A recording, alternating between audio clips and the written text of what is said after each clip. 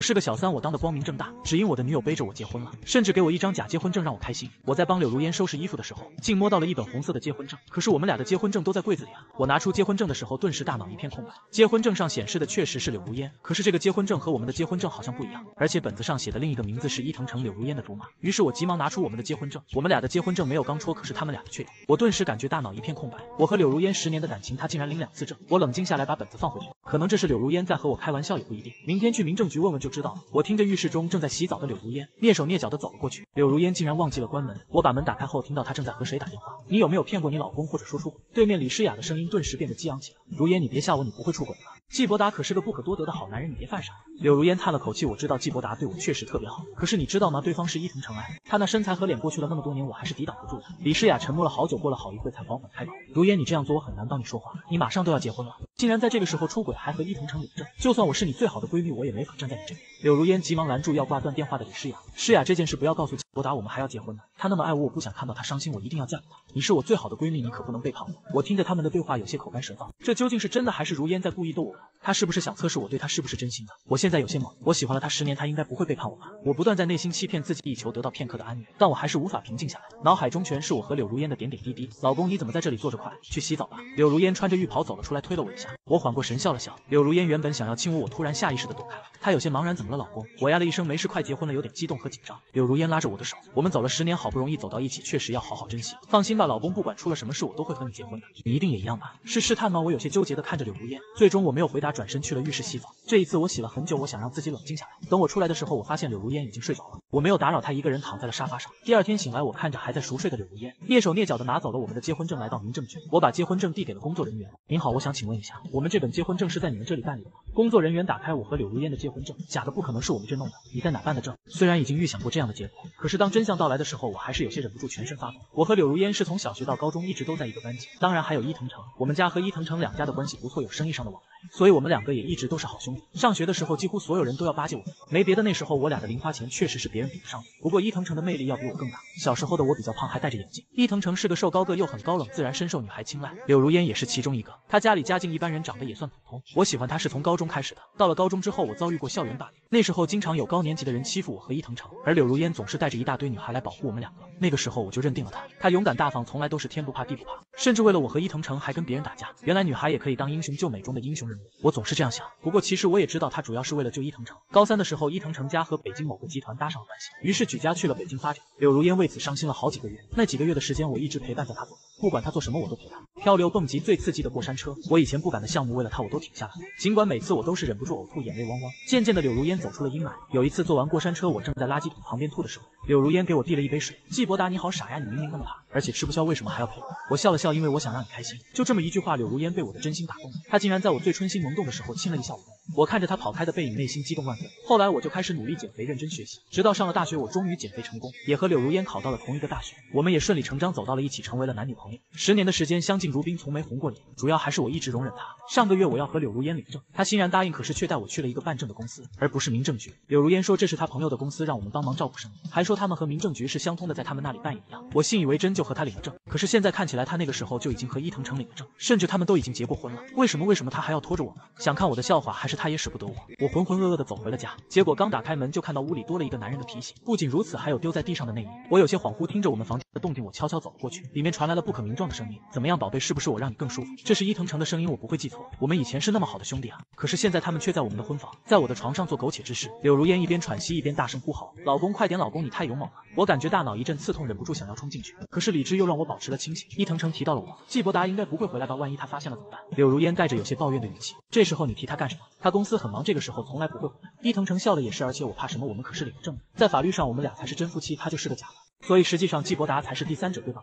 柳如烟沉默了一会，伊藤城，我不能离开季伯达，他没了我会疯的，所以我必须和他结婚，他离不开我。后面的我不想听了，这他喵是人能说出来的话吗？跟别的男人领证乱搞，还说不能离开我，我离不开他。我长这么大还是第一次见到这么厚颜无耻的人。我关上了大门，独自离开了属于我们的这个家。或许还有别的办法。我给丈母娘打了个电话，妈，您快去我们家看看如烟今天说不舒服。我公司这边太忙了，没时间回去啊。对了，最近有个男的一直在纠缠她，您小心点。对对对，把他几个堂兄弟都带上，千万别让他受伤呀。半小时后，我打开了家里的监控，开始欣赏他们的表演。我把家里的密码告诉了丈母娘，他们可以轻松的进入我们家。他们去的时候也看到了地上的一片狼藉。柳如烟的四个堂兄弟顿时就急了，直接踹开了我们房间的门。在看到床上的人不是我之后，他们几个把伊藤城从房间。拖了出来，好一阵拳打脚踢，边打边骂。别说看着还挺爽的，至少有人给我出气了。而且伊藤诚还不敢报警，我就是故意这样做的。我想让我丈母娘看看她的好女儿是个什么样的人。不过很快，柳如烟穿着衣服跑了出来，别打了，别打了，伊藤诚，你没事吧？看着他们的样子，丈母娘愣住。如烟，你在干什么？你对得起你老公吗？柳如烟心疼的安抚着伊藤诚，妈，我和伊藤诚是真心相爱的呀，我们俩已经领证了。丈母娘一听，气得差点背过去，她直接甩了柳如烟一巴掌，孽障，你就是个孽障呀！你你，你让我们季家怎么和季伯达交代啊？我怎么能生出你这么个玩意儿？我不管你和他现在就去离婚，你必须嫁给季伯达。柳如烟捂着脸，急忙摇头，妈，我的事您就别管了，我能处理好，而且我会嫁给季伯达的。但我和伊藤城的事你不能告诉他，不然季伯达肯定会跟我分手。丈母娘也愣住了，你非要把我气死不可，你个混账玩意！丈母娘突然看向伊藤诚。然后直接一脚踩向了伊藤诚的命根，正中红心，那可是高跟鞋啊！不得不说丈母娘威武，我看的还挺爽的。丈母娘也是个明事理的人，以后也不至于太难看。最后她带着人离开了，伊藤诚则是捂着命根子疯狂哀嚎，最后被送去了医院。这件事结束的第三天，伊藤诚竟然打电话说请我吃饭。这三天内，丈母娘和柳如烟都没有提这件事，我也没有多问。我到的时候看着伊藤诚走路不自然的样子，忍不住笑了。嘿，伊藤诚这么多年没见你又变帅了，哟这脸是怎么回事？怎么变成猪头了？见到我的那一刻，伊藤诚有些惊讶。季伯达你怎么这么瘦了还变帅了？你不会是去韩国做了整形手术然后切了胃吧？我假装拍了一下他的。胳膊哪有？这不是要泡妞吗？所以下定决心减肥了。伊藤诚被我拍了一巴掌，顿时传来一声猪脚啊！疼死我了！季伯达，你不能轻点吗？我假装担心的看着他，你到底怎么了？被人打劫了吗？要不要我报警？伊藤诚连连摇头，没事，就是下楼的时候脚滑了滚了下来。我心里偷笑，你家楼梯该换了，连少爷都敢滑倒。对了，伊藤诚，我看你朋友圈你结婚了，也不跟兄弟说一声，我好随份子钱啊！伊藤诚似笑非笑的看着我，刚结婚一个多月，这不是刚回来吗？我老婆她比较喜欢吃西餐，我顺便带她来了。说起来，我老婆真的是个好女人。还记得我们上学的时候吗？她每次都为我出头。我当然知道，还跟她谈了十年的恋爱。我算是知道了，怪不得伊藤诚邀约我，原来是想在我面前找存在感，顺便确立他在柳如烟心中的地位。他不停的在我面前夸柳如烟对他多好多好，给他买奢华手表，买高定西装，甚至还给他买了豪车别墅。我静静的听着，这些钱应该都是我的吧？正好到时候可以一起要回来。伊藤诚见我一直不说话，嘴角勉强勾勒出一丝弧度。季伯达，其实我老婆你应该也。如烟在镇的伊藤诚口中的那个他呼之欲出时，我瞧见了不远处缓缓走来的人。柳如烟大包小包的走来，越走脚步越慢，甚至在看到我的那一刻，脸上满是慌乱，像是做错事的小孩，怕被大人抓到，脚步停顿在那。他想走，我抬手打了个赏指，柳如烟，我在这。伊藤诚惊讶的看了我一眼，转头就飞奔出去，扑到了柳如烟的怀里，却被柳如烟毫不犹豫的推开，摔到了地上。柳如烟，你干嘛推我？疼死了！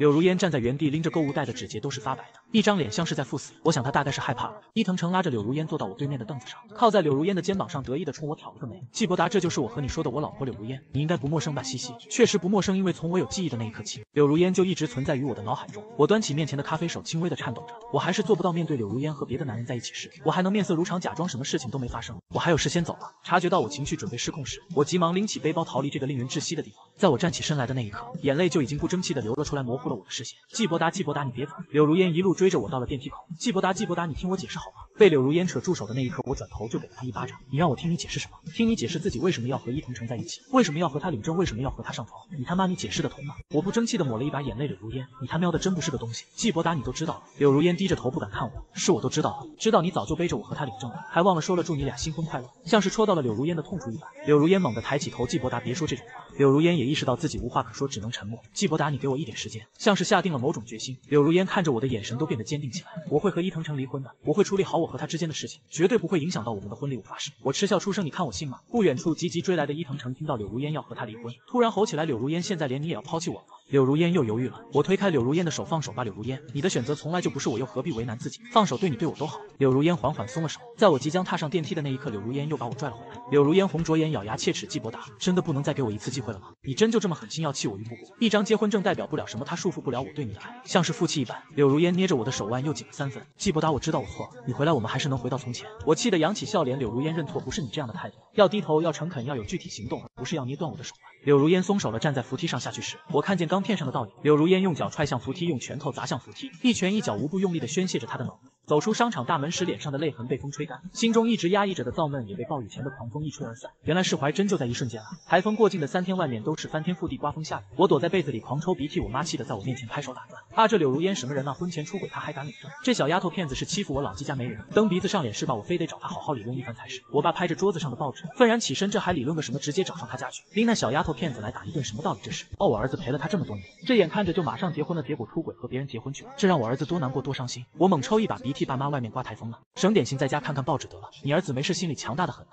不至于为这点事就抹脖子上吊的没那么夸张。我妈把脸凑过来，真没事吗？在爸妈面前别憋了，该哭就哭，别憋着了一会该憋出病来了。真没事。我把爸妈推出房间，关门前我露出半个脑袋，妈给我安排个相亲呗。第四天台风过去了，我开了辆小皮卡过去准备搬东西，毕竟杂七杂八蛮贵的。当然小皮卡后面还跟着我两堂哥三表哥，我委婉表示过不用这么暴力。大表哥直接就坐我副驾驶上，刚一开门，熏天的酒气就给我逼退了两步。柳如烟手里拿着酒瓶，见到我的那一刻，柳如烟两眼放光，一个箭步就来到我面前。季伯达，你终于回来。昨天酒店经理还给我打了电话，婚礼现场都已经按照你的要求布置好了，菜品样式、宾客名单都发了过来，就等你点头确认。还有婚纱店的店员也打个电话过来，在最后试一次婚纱看看，还有那些地方要改。季伯达能陪我去看看吗？柳如烟一脸期待的看着我，像是忘记了之前发生的事。我觉得他大概是喝上了头醉，到能自己骗自己。柳如烟，我是来收拾东西的。我掏出两份合同拍在他脸上，一份公司股份，一份房屋合同。当初柳如烟拒绝家里帮助，要自己单闯，我投资他这屋子也是贷款买的，欠款我和他各还一半，还有屋子的装修也要评估对半分。柳如烟捏紧手中的合同，眼中的红血丝更多了，一定要分得这么清吗？一定，带着表哥堂哥也是有好处的。三个搬行李，两个守在我身边。柳如烟拿着合同站在角落，我仔细打量着柳如烟邋遢颓废，还有一股隐约的焦躁之气，可分明她要比我大两岁，却在我面前像极了需要被照顾的小孩。鼻梁不够高，戴在上面的眼镜总喜欢往下滑，年近三十，脸上依然会冒出痘痘，坑坑洼洼。个子不算高，踩上高跟鞋勉强到我肩膀。往日我觉得哪哪都称得上是完美的地方，没了爱人的滤镜后，都在今天暴露无遗。柳如烟，其实你很一般，没了我的爱，你什么都不是。话落，柳如烟抬起头看向我，嘴角不由得抽搐。她把合同签了，递到我手上，回了房间，掏出了两张皱巴巴、满是烟味的信笺纸，致歉信三个大字映入我的眼帘。我面无表情的叠好信笺，塞回柳如烟的手中，连信你都不看了吗？这么绝情，不留余地，季伯达，你是不是早就对我没了感情？柳如烟的眼里有不甘，有疑惑。季伯达，到底怎样我们才能回到过去？是不是要我和伊藤诚离婚，断干净，你才会重新接受我？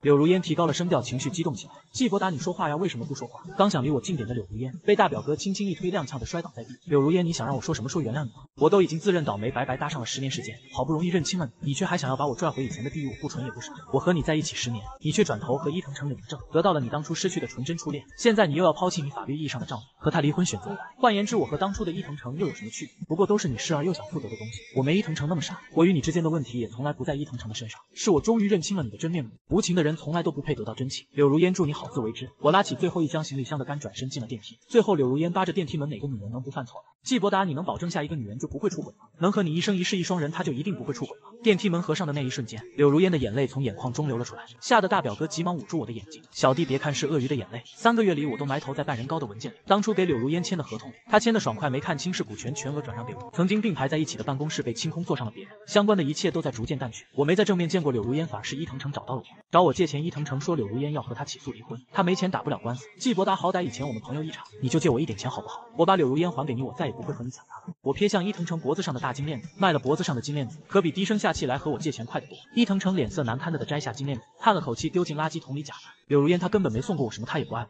她爱的人是你。伊藤城说着说着就哭了起来。柳如烟，她就是个渣女，她不爱我，从一开始就没爱过我我。及时伸手制住了伊藤诚的话，给了他一万块，你别再来烦我。伊藤诚抿着唇，为什么要借我钱？我不稀罕这孩子一出生就在这样破碎的家庭里，也不想听到任何有关于柳如烟的事。花钱买文件，收拾好桌子上的文件，关灯下楼。不远处靠在车子旁的苏佑威正提着我爱吃的烧烤，冲我挥手。苏佑威是爸妈给安排的相亲对象，人品样貌端正，家世也门当户对。爸妈担心我再次受伤，硬生生打听到人家老家祖上才敢介绍给我。两个月，我和苏佑威相处下来，没有悸动，只有合适。合适大概就是最好的。我与苏佑威的婚期定在两个月后，日子是两家长辈一起挑的好日子，我和苏佑威都没意见。当初的那件西装也被我转手挂了出去卖。奇怪的是，居然会有人出了原价八倍的价格买下那件西服，重新定做婚纱的还是那位老师傅。老师傅见我和苏佑威牵手骑入门，拉下老眼镜框，满意的点点头。这样看起来般配多了吗？车子发动时，我才发现原来旁边那辆车里是坐了人的。三月没见的柳如烟压低了帽檐，趴在方向盘上，放在方向盘上的手指微微颤抖。原来她还没摘下那枚我送她的戒指。不久后，楼下前台给了我一封没写名的密封袋，里面有柳如烟起诉离婚成功的法院证明，还有厚厚的信笺，连着密封袋一起被我丢进了垃圾桶里。做什么呢？怪恶心我的！婚礼那天，佑薇穿着洁白色的婚纱，几个家里的姐妹正给她捧着裙摆，背后的门就突然被人打开了。柳如烟穿着当初我们一起定下的那套婚纱，出现在我的身后。季伯达，别娶她好了。我下意识就皱起眉头。柳如烟，别是疯了，想在今天闹事？不可能，苏佑薇我娶定了。你要是想在今天闹事，不介意送你进去蹲几天。柳如烟上前扼住我的手腕，季伯达，我错了，再给我一次机会好不好？我们从小一起长大十年感情，我求求你了。我放不下你，真的放不下你。过往的一切我都会改婚，我也已经和伊藤成离了。我保证，我以后都会对你好的，只对你一个人好。我真的不能没有你，季伯达，我真的求你了，别娶她。和柳如烟的激动形成反差的是我的冷漠，冷漠的像是个旁观的局外人。柳如烟，除此之外，你还有别的话要说吗？说什么？直接留遗言。苏幼薇急忙赶来，挡在我和柳如烟中间，给柳如烟脸上狠狠来了一巴掌。天天惦记着我的老公，柳如烟，你一个女人还能有点道德吗？苏幼薇一巴就给柳如烟脸打肿了，我急忙拉住苏幼薇的手，摇摇头，别别耽误了我们的时间，不值得。我朝着苏幼薇的小嘴小啄一口，回过神来的柳如烟眼中满是不可置信。季伯达他打我，你看见了吗？看见了，所以呢？苏幼薇躲到一旁，看着柳如烟发疯发狂，砸掉了镜子，摔断了凳子。